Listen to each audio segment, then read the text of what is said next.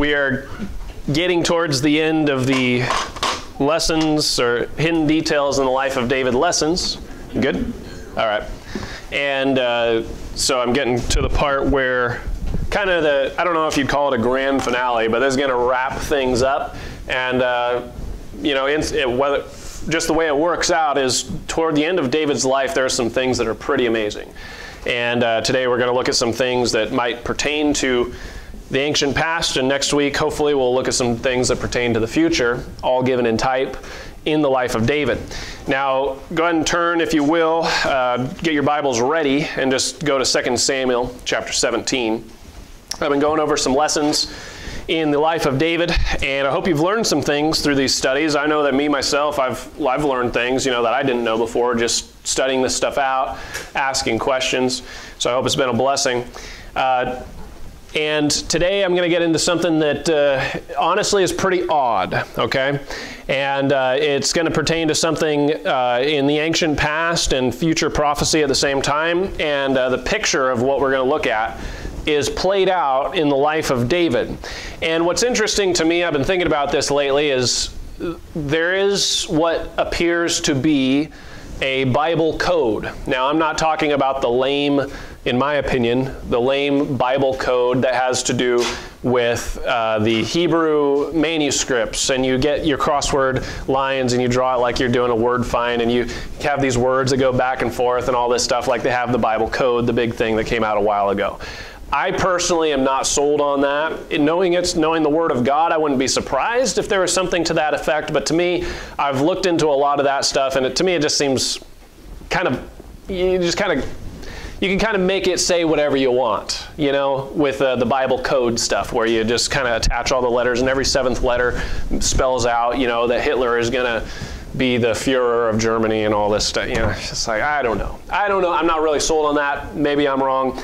But there is something in this Bible where God does things in patterns. And once you understand the pattern, once you understand how the pattern works and how God does a certain thing a certain way and the way that God prefers to do things, it's almost like once you see the pattern, you can start looking at stories and putting them into the pattern. And when you're missing details, you can almost fill in the details based on the pattern that God has displayed in His Bible. For example, what is a number? Just to throw out a real basic example, what's a number that God tends to do things in?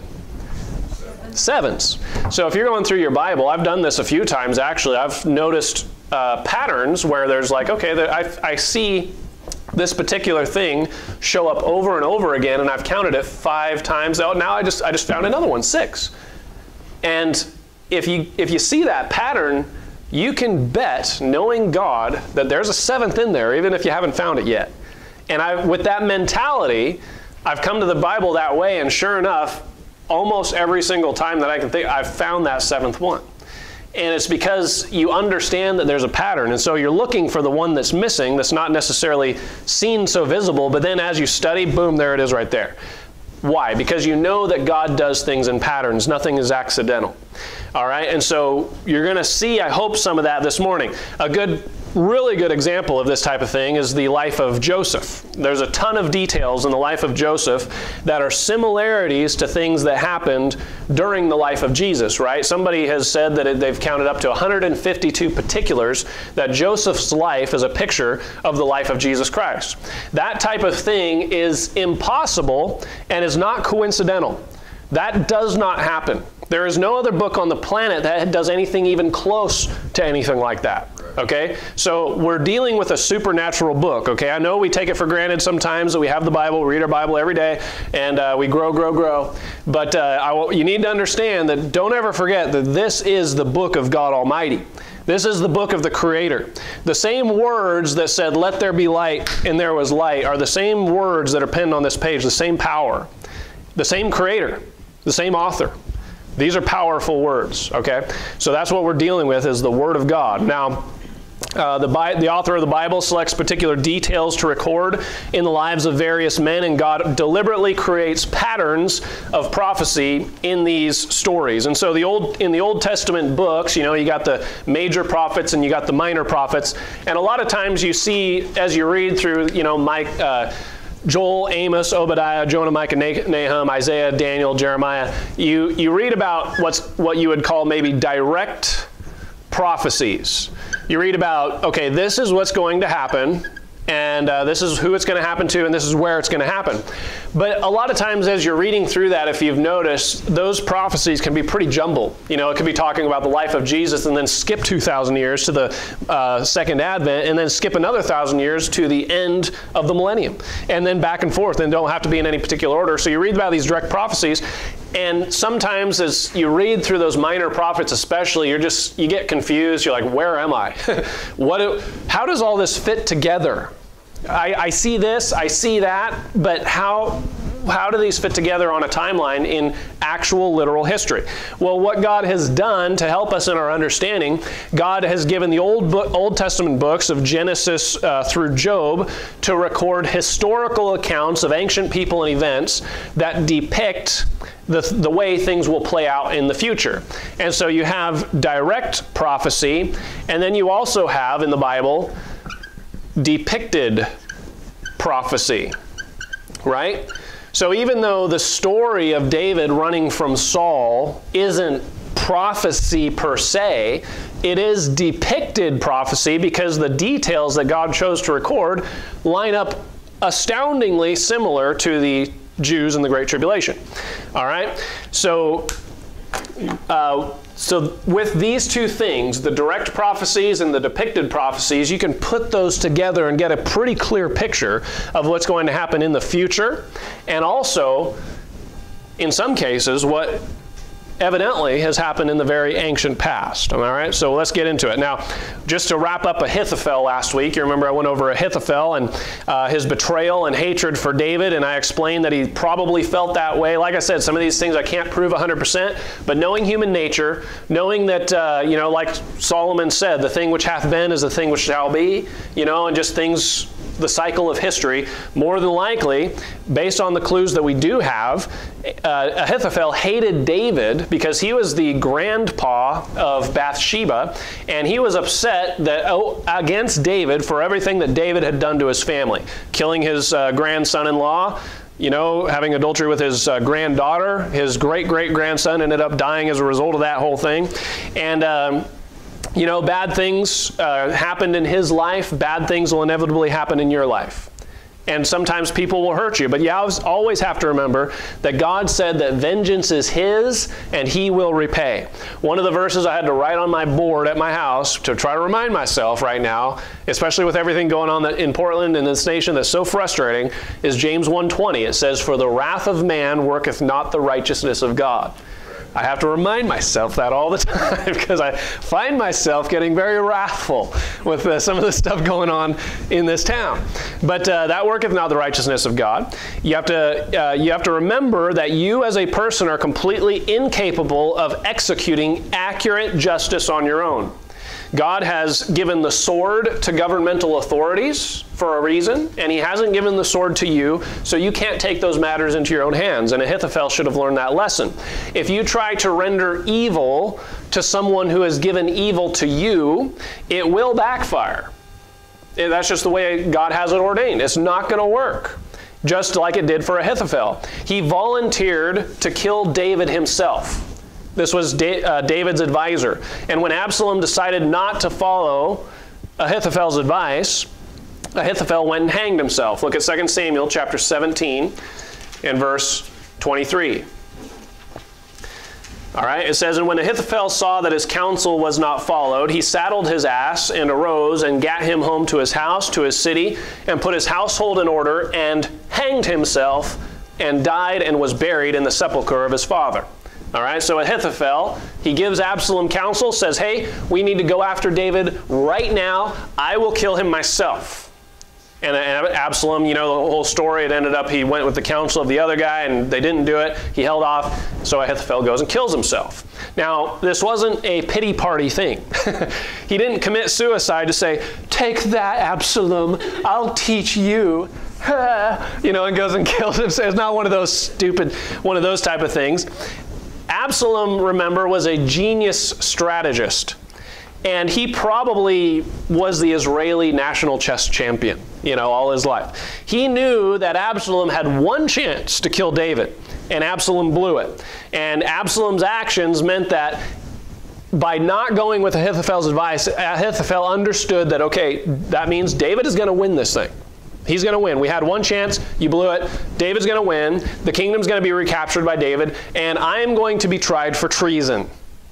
He already knew how this whole thing was going to go. He was going to face the firing squad. And so he knew his days were numbered, and I'm guessing that his motive for suicide wasn't to avoid execution. It was probably because he didn't want to face his, his granddaughter Bathsheba. I mean, I'm just kind of putting myself in his shoes. I can't prove that. But think about it. In 2 Samuel 15, 16, it said that David fled with his household, which includes Bathsheba. They went away, and Bathsheba was with him. And Ahithophel wanted to kill David, but he's not going to kill Bathsheba. In his mind, he might be saving Bathsheba from David, right? So he's going to go kill David and get his granddaughter back. But now David's going to return, Bathsheba's going to come back, and Bathsheba's going to have to see grandpa executed. And it's not going to happen, as far as he's concerned. So he goes and hangs himself so he doesn't have to face his granddaughter and put her through all that. I don't know, it's just a thought I had. Maybe that's not the case, but uh, it's interesting. So that's Ahithophel's death. Uh, let's look at Absalom now and look at his death. Now, remember that there are, there are 18 major types of the Antichrist in the Bible. We don't have time to go through all that today. But Absalom is one of them. He is part Syrian and part Jew. He is, uh, Absalom's name means father of peace. And it's interesting that he's a counterfeit of another son of David, Solomon, whose name means peaceful. So you have Solomon, in a way, as a type of Christ, if you will, and Absalom is a type of the Antichrist. Peace, father of peace, peaceful, counterfeit. Okay, you have you see that pattern happening over and over in the Bible. Uh, Absalom comes in speaking peace, but war is in his heart. He has no intention of bringing peace to the kingdom. But he speaks peace and gains the kingdom by flatteries, but he has every intention of taking over and killing David and his family and everybody that's partial to David. He becomes strong with a small people. He seeks to kill God's servants who are fleeing into the wilderness, right? And he is loved by shallow thinking people. Look at 2 Samuel 14. So he's very much a type of the Antichrist. The things that are depicted in the story match the things that the Antichrist will do, okay? He's, the Antichrist is going to chase the servants of God, the Jews, into the wilderness. All right, and the Antichrist will be loved by shallow thinking people like Antifa and BLM and liberals. Amen. And uh, 2 Samuel 14 25. So it says, But in all Israel there was none to be so much praised as Absalom for his beauty. From the sole of his foot even to the crown of his head, there was no, no blemish in him. All right? So uh, I don't know if it. I don't know. He, he, was he was like the movie star of his day. He was the he was the guy that everybody loved. Everybody loved this guy. They had posters of Absalom on their wall, you know, and all this stuff. And uh, but there's a couple of things here. Number one, I want you to notice the connection biblically with Lucifer. Uh, when Lucifer was created, the Bible says that he was the most beautiful being in the universe outside of God Himself right? The Bible says in Ezekiel 28 12, Son of man, take up a lamentation upon Tyrus, the king of Tyrus, say unto him, Thus saith the Lord, Thou sealest up the sum, full of wisdom, perfect in beauty, right? And that whole passage is talking about Lucifer prior to his fall. We've looked at that in the past. We're not going to go into all that right now. Um, that whole thing, it's interesting that the Bible says that Lucifer, which means light bearer, was perfect in beauty. All right? Now, Satan is not beautiful anymore. He is the crooked serpent, right? But originally, you might say that there was none to be so much praised as Lucifer for his beauty, right? From the sole of his foot even to the crown of his head, there was no blemish in him. You see that? You see how the thing that's spoken of, of Absalom would also be true of, a, of, of uh, Lucifer prior to his fall. You see that? Beautiful, beautiful. Unparalleled beauty, unparalleled beauty. Okay? And this guy ends up being a wicked man. Uh, so it stands to reason that since uh, the Antichrist is going to be the son of the devil, now this is again, this is another Bible study, but uh, since the Antichrist is essentially the son of the devil, the Antichrist will probably, I'm just saying probably, but more than likely, is going to be someone of masculine beauty that people will gravitate to. I figure that's probably the case. The opposite, uh, or let me say this, now let me note, point out, so you saw the connection with Lucifer, now let me point out the contrast with Jesus Christ. In Christ's spiritual state, if you will, Jesus Christ is unspeakably glorious, right? I mean, we wouldn't argue that.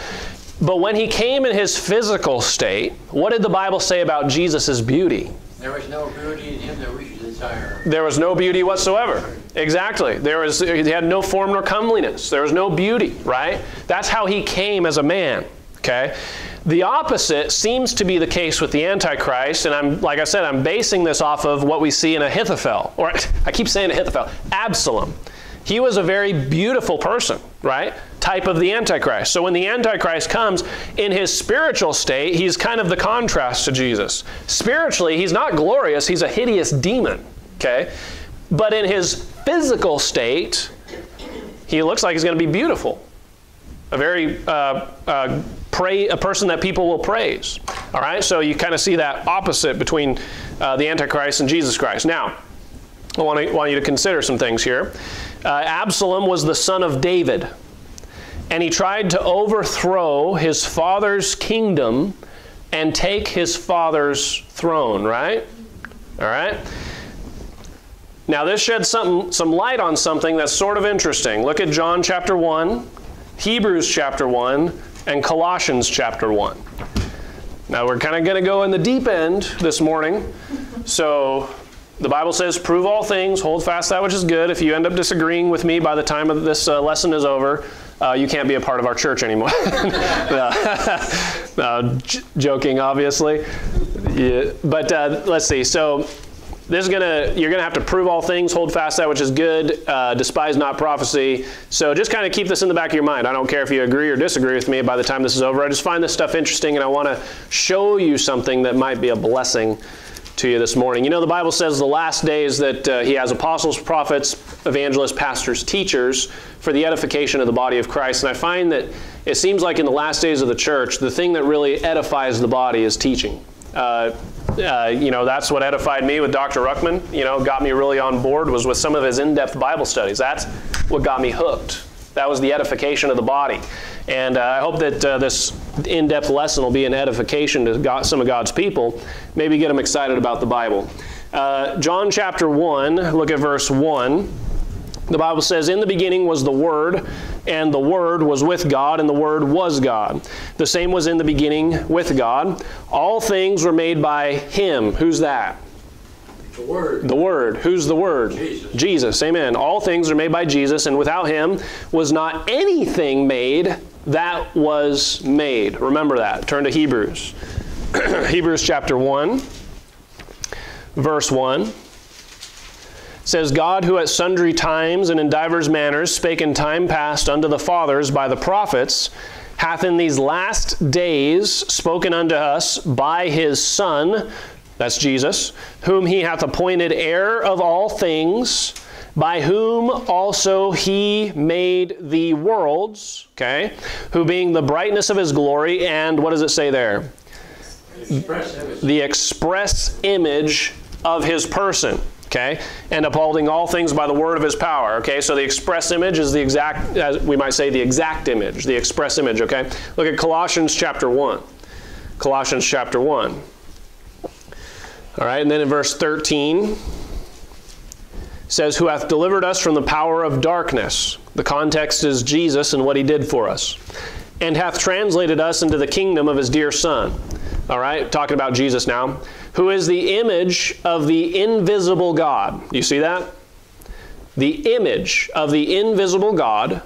That's God the Son, God the Father, the firstborn of every creature. For by him, who are we talking about here? Jesus, were all things created that are in heaven and that are in earth, visible and invisible. You could say they're physical and spiritual. Whether they be thrones or dominions or principalities or powers, all, all, all things were created by him, Jesus, not the Father. That's an important distinction to make there. All things are made by Jesus, okay? And for him, and by him all things consist. Now that's there's nothing wrong with that statement. We usually think of God, you know, in the being God said, "Let there be light," and God divided the waters from the waters, and God uh, made there said, "Let there be dry land." We usually think of God the Father. But remember, that's Jesus speaking in Genesis chapter 1. Every time that it says God said, God said, God said, that's Jesus speaking. That's not the Father, because all things were made by Jesus. We get that revelation in the New Testament. All right, so that's an important thing that you're going to have to pay attention to here. Now, in the beginning, way, way, way, way, way, way, way back in the beginning, before there was time and eternity and all that, okay, you had uh, God. Let's see, I don't think I want to do it this way. I'm going to run out of space. I just know it. All right, so let me give me a second here. All right. So at one time, all there was was God the Father and God the Son, and obviously God the Holy Spirit, but for the sake of our study this morning, I'm just going to give you those two. All right, now, God the Father, God the Son. God the Father, the Word, all right? Technically, Jesus isn't called Jesus until he's born of Mary, all right? But uh, prior to that, he was called the Word. Uh, he shows up as the angel of the Lord a couple times, but for the sake of understanding, I'm just going to refer to God the Son as Jesus, whether it's at his birth, later, or even before in eternity past, just for the sake of understanding. I know, so, don't crucify me that technically he wasn't called Jesus back in Genesis 1 1. I get it, okay? But uh, just for the sake of understanding, I'm just going to refer to Jesus uh, the whole time. All right, so God the Father is a spirit right? John 4 24, and is invisible according to the Bible. Just because a thing's invisible doesn't mean it's not there, okay? God the Father is the invisible God, okay? We know that from the Bible. God the Son is essentially the visible manifestation, the visible version, for lack of a better term, of God the Father. They're both one, but one is invisible, one is visible, okay? Jesus is the express image of God the Father. All right, right? Would we all agree with that? Um, Jesus is the express image of God the Father. He's the express image of an invisible God. How do you? I just I don't even get that. But uh, if you basically, he's the exact replica, if you will. Uh, if God is a fifth dimensional being, Jesus is a fourth dimensional being, that I assume that make God a fifth dimensional being. He, Jesus is the exact replica in four dimensions of God in five dimensions. And so try to wrap your mind around that. But uh, Jesus is called the firstborn of every creature, and thus, as the firstborn, the birthright, right, belongs to the firstborn. Okay? Every, it belongs to him, and he is the one, the one, the firstborn, has dominion right? He's called the firstborn of every creature. I'm not saying that Jesus is a created God and all that stuff. That's just what we read there in Colossians. As the firstborn, he gets the birthright. He's the heir, okay? All right, so are we all on the same page so far? All right, so I gotta, I know I gotta kind of tread carefully through here because, you know, you can end up down a road you don't want to go down. But uh, notice that uh, the Son of the Father is the express image, okay? Pay attention to that. Express image. If it was possible, if you had a special pair of glasses and you could somehow see God the Father, which you can't, and you could see God the Son, and you were able to look back in time and see when there was nothing else except these two, if you could see them both, would they not look identical?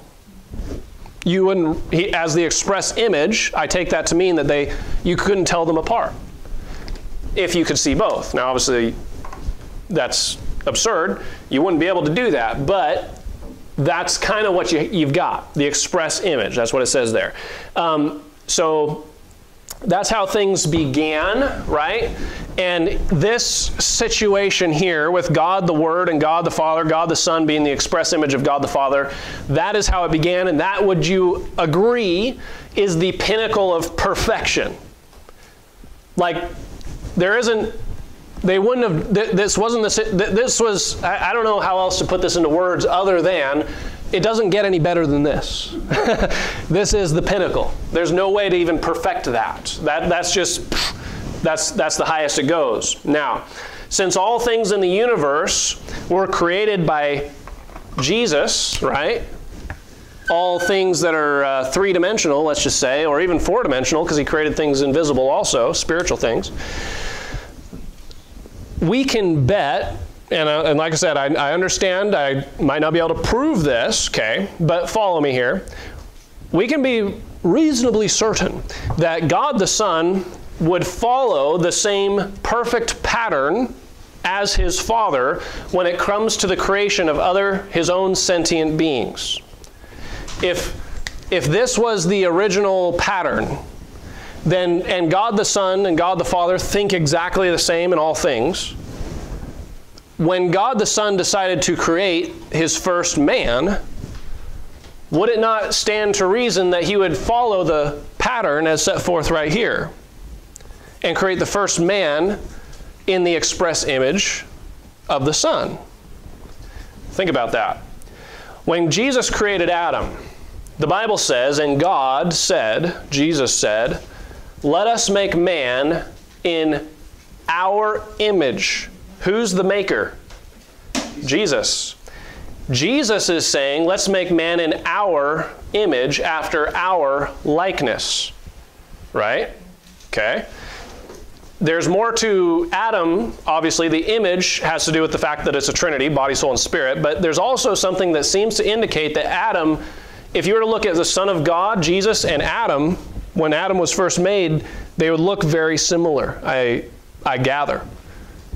I don't know if you would be able to tell much of a difference between the two. It'd be like Adam was the human version, the human express image of the Son.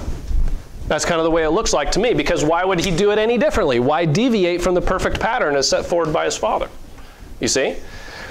Now, if God the Son is the fourth dimensional representation of his fifth dimensional Father, then Adam would be the three dimensional representation, representation of his fourth dimensional Father, who would be Jesus.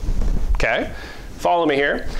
And there's really no reason to assume otherwise, especially when you consider how the Bible draws a direct correlation between Adam and Jesus, right? In 1 Corinthians 15, it says, So it's written, the first man, Adam, was made a living soul. The last Adam was made a quickening spirit. The first man is of the earth, earthy. The second man is the Lord from heaven. It draws a correlation there. In Luke 3:38, it talks. It says it's going through a lineage of Christ, and it says which was the son of Enos, which was the son of Seth, which was the son of Adam, which was the son of God. Adam. All right, so I'm going to put Adam here. Was the son of God just as Jesus is the Son of God. You see that? Son of God, Son of God. Father, Jesus, as the creator, as the originator of Adam, in a sense, would be his father. In a sense, okay? Now, again, that doesn't cause a problem here because Jesus and God the Father are one. So if you wanted to say, well, no, God the Father was Adam's father, but you're saying the same thing, okay? But uh, I'm just getting into some of these technicalities because I want you to see something. Now, sentient beings that are direct creations of God are called sons of God in the Bible. Animals are not sentient beings in the sense of having free will, so they're not classified as sons of God ever in the Bible, even though God created them. Okay? I want you to understand that. There's no dog that's called a son of God because God had dogs appear one day. All right? They're not sentient beings, so they don't they don't fit that category. But you do have a thing where as you saw in Luke 3:38, Adam is called a son of God, right? Would you agree? Okay, sons of God. You have a thing where uh, angels are called the sons of God, right? Genesis 6. Why? Because they're direct creations of God. You have a thing where Christians are called sons of God, right? John 1:12, as many as received him, to them gave he power to become the sons of God. Why? Because when you trust in Jesus Christ, you are direct you are a direct creation of God. If any man be in Christ, he is a new creature. Old things are passed away, behold, all things are become new. We are created in Christ Jesus unto good works, Ephesians chapter 2. All right, so you have Son of God, Son of God, Son of God. Why? Because they're direct creations of God. Since Adam was the first man, he fits the criteria of being the firstborn, right? The firstborn Son of God. Is that not what we read in Colossians, the type? The firstborn? Here's the type. I'm showing you a pattern here, what God is doing in a pattern. Here's the perfect pattern. It's repeated with Adam. He's the first man, okay, the firstborn. As the firstborn, who gets the right of the dominion? It'd be Adam. He was the king. As the firstborn, he gets the birthright. He's the firstborn, and he's called a son of God. This is matching the pattern that we have here. Okay? Now, because Adam was the first, he would be the ruler, or he would be the chief above all the men that, be, that were to come after him, just as Jesus is the ruler or the chief of all the Christians that come after him, right? Because Jesus is the firstborn among many brethren, according to Romans 8:29.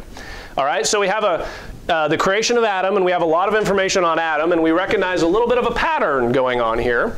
So, based on the information we have in the scriptures, let me start asking you some questions here. We're going to start going backwards a little bit and see a similar pattern with the angels. All right?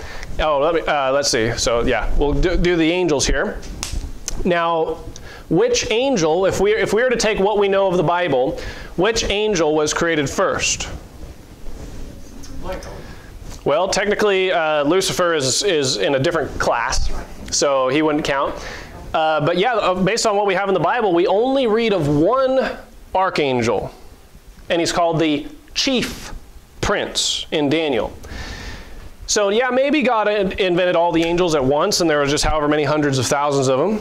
But that doesn't seem to be the pattern of how God does things. He starts with one. He, when he created mankind, he didn't go, and there are six billion people on the earth. He started with one. All right? And then others came later. I'm not saying that angels have children and have baby angels or anything like that, but I'm saying he starts with one, and then he, yeah, I know that's what you're thinking. And uh, he starts with one, and then he can create more after that.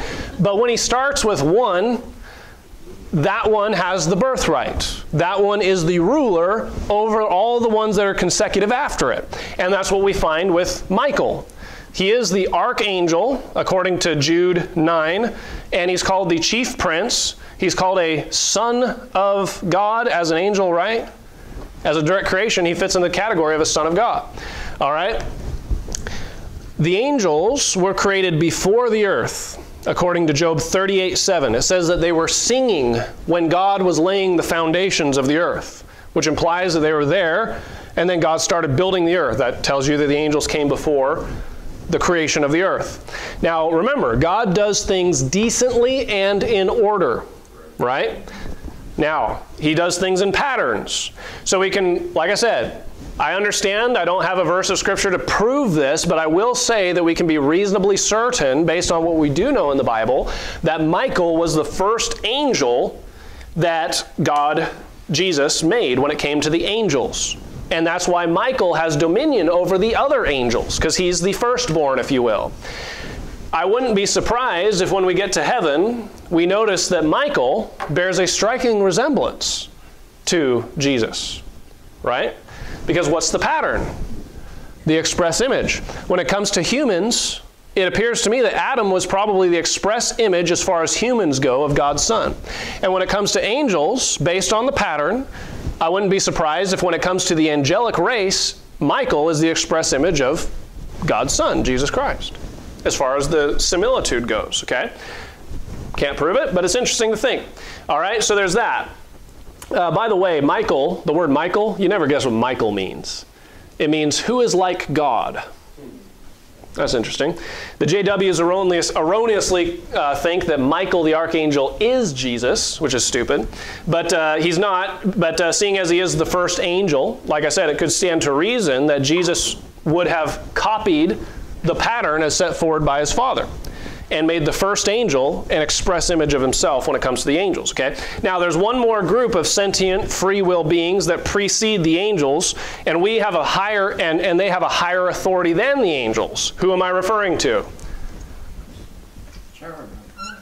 Now, isn't this interesting? Cherubim. There is another group of created beings called the cherubim. Now, let's think about that. God created five cherubim, as far as we can tell, and one of them was higher than the others. Who was that? Lucifer. He was the anointed cherub. He could have made all five at once, but based on the pattern, he started with one, then made the others. And the first one is the one that's the firstborn that gets the birthright that has the dominion over the ones who follow. You see that pattern? Okay? I have to emphasize this because, uh, you know, if I don't emphasize this and I just jump to what I'm getting at, people are going to lose their minds. Okay? now, Jesus could have created, like I said, five all at once and arbitrarily picked one. Okay, I'm going to anoint you, and you're the anointed one. But when Jesus created the cherubim, think about this there was no material creation at that time. The cherubim are before the angels, and there was no heaven and earth at that time. Or by all indications, maybe the angels and cherubs are at the same time, I don't know. But it looks like it was cherubim, angels, heaven and earth. Genesis 1 1. Okay. There were no angels. I, I would, would everybody kind of agree with me that the, the cherubim probably came before the angels, seeing as the cherubim have a higher authority than the angels? I would, I would assume so. Okay, so there would be no angels at the time of the creation of the cherubim. Okay, at that time, it was just God the Father and just God the Son. And the first thing that Jesus decided to make then would be a cherub. The first thing. Given the fact that one of them is the anointed one, it's likely then, following the, the, the path, it's likely then, therefore, that Jesus made Lucifer first and then the other four, which would mean that Lucifer was the first thing, being, Jesus ever made. Isn't that interesting? Nothing else in the universe. Just God, God the Father and God the Son, and if it, based on the fact that God is invisible, all you'd see is God the Son. And the very first thing is he creates Lucifer. Now, consider the ramifications of this. Okay, in the beginning you had God the Father, God the Son. God the Father is invisible, all you'd see is the Son. And then the Son speaks, and a new entity is suddenly in existence. What did the Son say? Well, I'm not sure. But seeing as Lucifer means light bearer, I'm guessing that it was something along the lines of let there be light, let there be Lucifer. Interesting patterns. Suddenly there was a glorious shining being in existence with the Son. What did he look like? Well, seeing as Adam, the first man, was made in the likeness of Jesus, and maybe we could argue that Michael, the first angel, was possibly in the likeness of Jesus. I can't help but wonder if this is the original pattern and the very first thing that God the Son is going to make, why would he deviate from the perfect pattern? Would he not make the very first cherub in his own likeness, in the express image of himself? I think it's interesting. It doesn't mean that every other consecutive one after him has to be in the express image, just like Adam's sons didn't have to be in the express image, but it seems like the first one, express image. It seems like there's something to that. Now think about it. Jesus' very first creation, like I said, would follow the pattern, more than likely, that his father set forward. And uh, so let's take a look at the next logical step. Direct creations of God are called sons of God in the Bible, right? All right? So then what does that make Lucifer? It make him a son of God. I know the Bible doesn't specifically state that, but based on the definition given to us in the scriptures, you can't come to any other conclusion because these are direct creations of God. Lucifer, as a direct creation of God, would have to fit the criteria, right, of a Son of God. Now, don't freak out on me yet, okay? The that would make Lucifer the firstborn son of God, if you will. He would have the birthright, would he not? And he would then, therefore, have the dominion, would he not? I know this sounds weird, but I'm really, when you look at the Bible, I'm not going out that far on a, I'm not going out on a limb that far. It's just interesting things that you've probably never thought about. I know I haven't really given much thought to this until I, until I started studying this. But this is uh, not blasphemy, okay? So I know some people might want to latch onto that, but it's not. You just follow it. The Mormons are the ones who are blaspheming. They say that Lucifer is the brother of Jesus and therefore is co equal to him. No, that's blasphemy. That's not true. What I'm saying is that according to the definitions as stated in the Bible, Lucifer technically fits the criteria of being the firstborn son of God, the firstborn son of Jesus. Because he came before Adam, before the angels, before Christians, obviously. He was the first. He had the birthright. And uh, when Lucifer was created, you would now see two beings in the universe. If you could go back in your time traveling binoculars, you would see two beings Jesus Christ and Lucifer. The Son of God, capital S, and the Son of God, lower s. Lucifer, by, from what I can tell, would probably be the cherubim version of the express image of the Son of God. The cherubim version, okay? Now, this would greatly explain why the Antichrist always bears so many striking similarities to Jesus Christ. You see that? Lucifer would have been the son, and Jesus would have been the father. Okay? God, God the Son, you know, you know what I mean?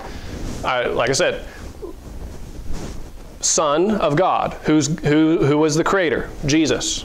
Son, therefore, the logical thing is if you're a son, then somebody's your father, okay? Father, all right? Father. Uh, Jesus, the, when it comes to the Christian, that's an interesting one because we are made one with Christ. And so God the Father is our Father, and Jesus Christ is not ashamed to call him brethren. So I'm going to skip that one. But when it comes to, uh, we don't call Jesus Father.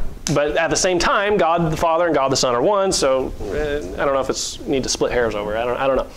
But anyway, uh, you know, from I, I, don't know, I don't know. Does anybody else call Jesus Father? I don't know. Never mind. I, I, just feel like I'm digging myself a hole. I just don't know where I'm going with that. But getting out of that hole. Let's get back to. I'll get in a different hole in a second. So technically, like I said, I don't have a, a chapter and verse to say that Lucifer to prove that Lucifer was a son of God, but based on the biblical definition, it fits. And also, the reason why I think that's the case is because it, of something very odd that we find in the Bible. Now, you might be thinking, what does this have to do with the life of David? Well, now I'm going to tell you. All right, Absalom is a type of the Antichrist. The Antichrist is Lucifer in the flesh. David is a type of Jesus Christ, right? All right, turn to 2 Samuel chapter 18. Prophecy depicted. 2 Samuel chapter 18. When you understand the pattern, you start seeing it over and over and over and over in the Bible. 2 Samuel 18, verse 31. Look at how, when Absalom dies, look at how David responds. And behold, Cushi came, and Cushi said, Tidings, my lord the king, for the Lord hath avenged thee this day of all them that rose up against thee. And the king said to Cushi, Is the young man Absalom safe? And Cushi answered, The enemies of my lord the king and all that rise against thee to do thee hurt be as that young man is. And the king was much moved and went up to the chamber over the gate and wept. And as he went, Thus he said, O my son Absalom, my son, my son Absalom, would God I had died for thee, O Absalom, my son, my son. Look at verse 1 of chapter 19. And it was told Joab, Behold, the king mourneth and weepeth for Absalom. And the victory that day was turned into mourning unto all the people. For the people heard say that day how the king was grieved for his son. And the people gat them by stealth that day into the city as people being ashamed steal away when they flee in battle. But the king covered his face, and the king cried with a loud voice, O my son Absalom, my son, O Absalom, my son, my son. Now, this could easily just be chalked up to David's understandable sadness over the death of a child. I mean, even if a king is, or if, if a kid is a pain in the rear, you know, or a rebel, no father, you know, wants to see his son die, you know. You know? So, but there's something very odd about this mourning going on. Absalom is a type of the Antichrist, right? And David is mourning over his death. There's another type of the Antichrist who's killed in battle, killed in Jezreel of all places, and David mourns for him too. That's Saul. Look at 1st 2 Samuel chapter 1. 2 Samuel chapter 1 verse 11.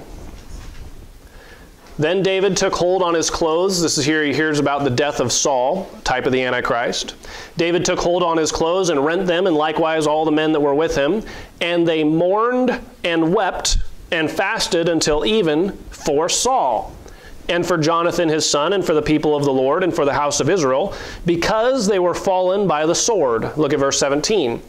And David lamented with this lamentation over Saul and over Jonathan his son. Also, he bade them teach the children of Judah the use of the what? The bow. Behold, it is written in the book of Jasher, verse 19, the what? The beauty of Israel is slain upon thy high places. How are the mighty fallen? By the way, what is the Antichrist carrying according to Revelation chapter 6 1 when he enters into after the sealed judgment? He's, what has he got in his hand? He's got a bow. It's interesting. Here you have the death of Saul, type of the Antichrist. He teaches everyone the use of the bow in honor of Saul and Jonathan, and the beauty of Israel. That's not Jonathan. He's referring to Saul. The beauty of Israel is slain upon thy high places. How are the mighty, the mighty fallen? Referring to Saul. Interesting. Type of the Antichrist, a bowman, beautiful. Interesting. So you have David, who's a type of Christ, mourning over the death of Absalom, who's a type of the Antichrist. You have David, a type of Christ, mourning over the death of Saul, a type of the Antichrist. Well, guess what? Turn to Ezekiel 31. Ezekiel 31.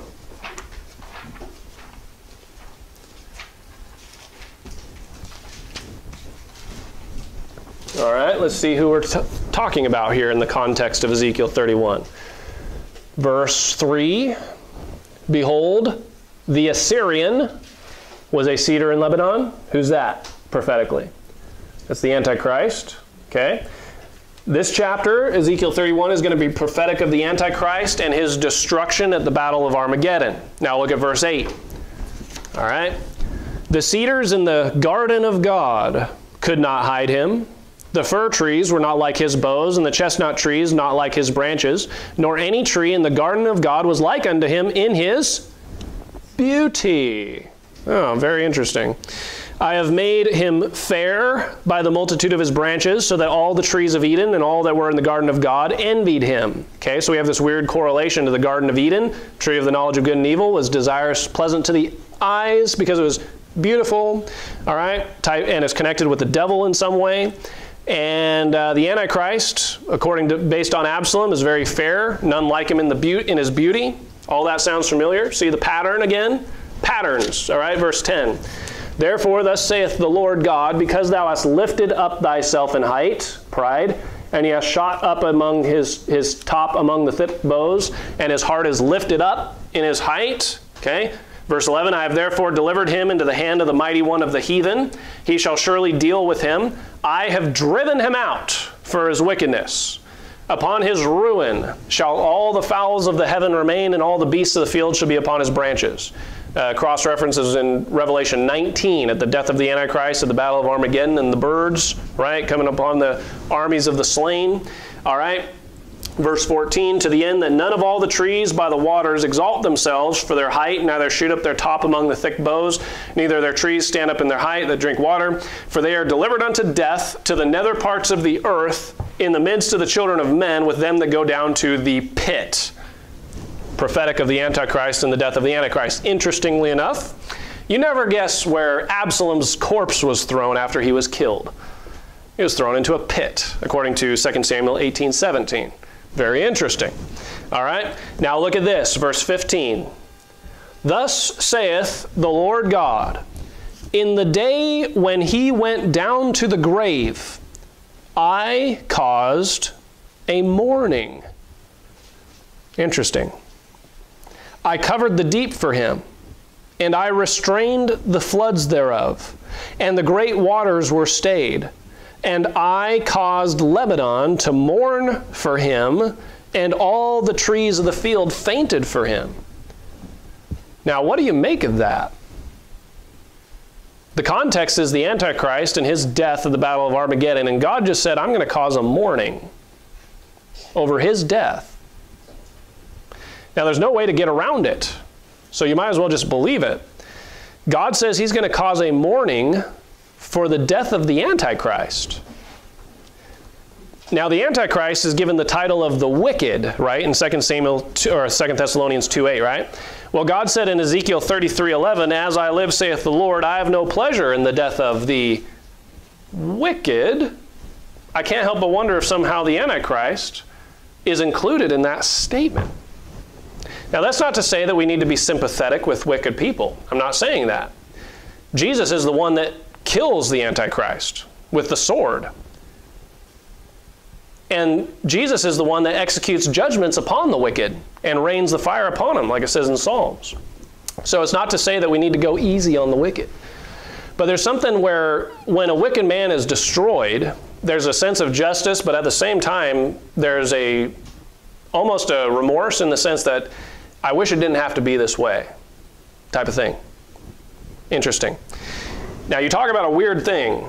Now, you would think that the Battle of Armageddon and the destruction of the Antichrist and his armies and the end of this corrupt, sinful, wicked world system would be a time of great rejoicing. And for us saints, I think it will be. You know, the Bible says in Psalms they'll rejoice, there'll be rejoicing, they'll dip their feet in the blood of the wicked and all this. There's going to be some rejoicing, but there was rejoicing when Absalom was killed. And uh, there might be some rejoicing, but uh, it might not be long lived because we might be rejoicing until we see our King Jesus Christ much moved. And as he goes up to the chambers over the gate, connected with the clouds of heaven in the Bible, and maybe weeps. Once everyone notices that the Creator is weeping, the creation will stop rejoicing. And you might have a thing like this at the Battle of Armageddon. And the victory that day was turned into mourning and to all the people. For the people heard say that day how the king was grieved for his son. There's a, there's a mourning there. And the reason why the people mourned in David's day was because he was mourning. They weren't sad. They were like, man, I'm glad this jerk is off the throne. Absalom, he's caused all these problems. But David, he was mourning. And the people mourned when they saw the king mourning. Because you don't rejoice, you're not when the king is mourning, or you're going to be mourning. But uh, you see, you and I, we don't really have any kind of emotional attachment to the devil, to Satan. In fact, you and I hate Satan and can't wait until he's destroyed. But then again, he's not someone that we brought into existence. Then again, he's not our son by definition. You know, in the Bible, the greatest love there is is what? The love between a father and a son. And Lucifer is the direct creation of Jesus Christ, the first. And that technically, by definition, biblical definition, makes Lucifer the firstborn son of Jesus Christ. And the scripture says that there will be a mourning when Lucifer is cast into the pit. And so I can't help but wonder if after the Battle of Armageddon, from somewhere up in the clouds, we'll hear a booming voice weeping and crying out and saying, Oh, oh my son Lucifer, my son, my son Lucifer, would God I had died for thee. O Lucifer, my son, my son. You know, Jesus' death for mankind paid for their sin, but Jesus' atonement on Calvary couldn't pay for Lucifer's sin. I think he said, you know, he says, Would God I had died for thee. That was David's attitude towards Absalom after all that Absalom had done to him. He said, I wish I could have died for you. My son, my son. You know, knowing the Lord, I, if there had been some way for Jesus to have been able to redeem fallen cherubim and fallen angels, I have no doubt that Jesus Christ would have done it. That's the love of God for his creation. There's just no way. It couldn't be done. It could barely be done for man. I mean, think of the extent that Jesus had to go through to redeem man. He did it. It could barely be done, but he did it. But, eh, but based on the Bible, there's no way to redeem a fallen angel or a fallen cherub. They're spirit.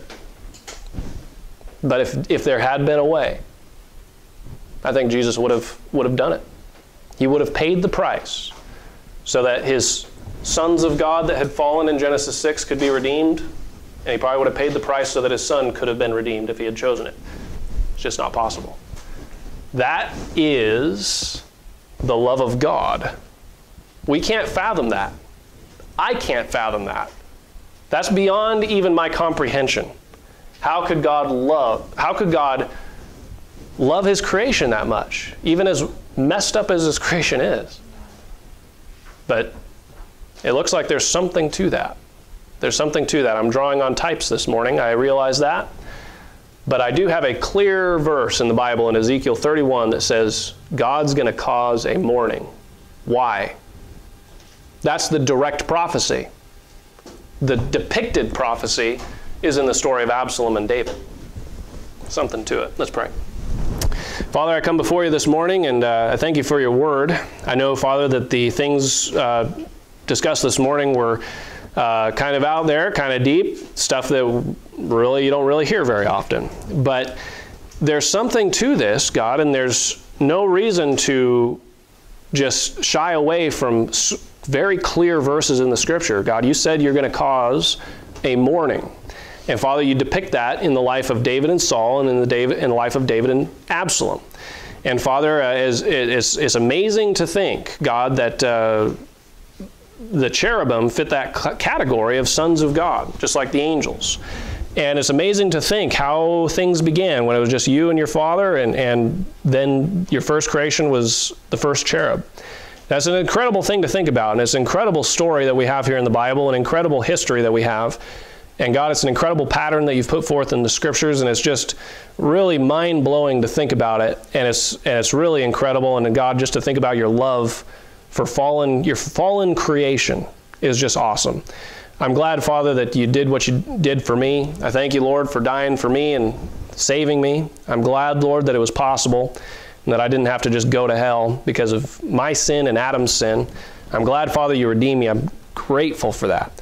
Father, I just pray that you give us understanding in these things. Father, help us to have a compassion on unsaved men, to see them saved, and a desire to see them saved, seeing as everything you went through so that all these people around us could be born again. Help us to have that same kind of compassion towards them as you have towards them. Not to go easy on sin or to uh, love the wicked, and like you say in the Bible or anything like that, but to care for them and give them the gospel because you care for them.